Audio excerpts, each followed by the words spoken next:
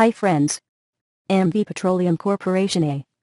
This case relates to the valuation of one of the wholly owned subsidiaries of Amoco Corporation, the MW Petroleum.